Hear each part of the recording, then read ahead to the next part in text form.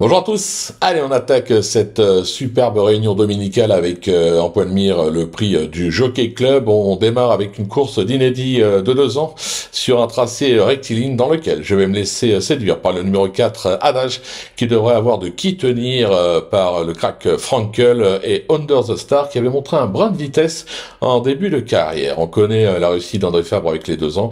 Il devrait être très appuyé à la cote. Méfiance également avec le numéro 2 Stormy Donald qui est issue euh, d'Elo Yusmin euh, et euh, Stormiza, une fille de Nathaniel. Si Fabrice Chappet n'a pas hésité à le supplémenter pour l'occasion, c'est qu'il montre quelque chose le matin à l'entraînement. Un conseil, ne le sous-estimez pas.